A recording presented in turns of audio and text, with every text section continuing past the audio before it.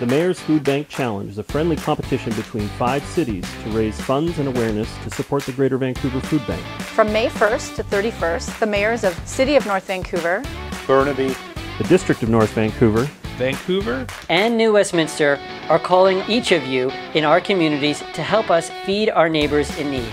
This is an online fundraising campaign where you can contribute from the comfort and safety of your own home.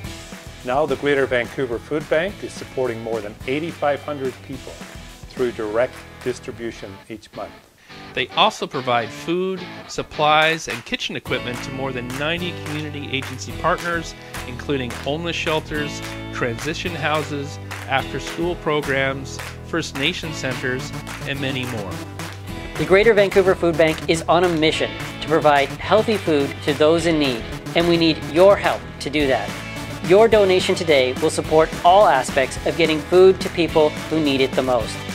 Did you know that 360 babies and 1,500 seniors access the Greater Vancouver Food Bank each month? Let's support the people who are the most vulnerable by providing them fresh and nutritious food such as proteins and fresh vegetables and fruits every week.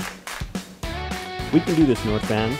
We have got this. We got this. We can do this. And let's feed hungry people.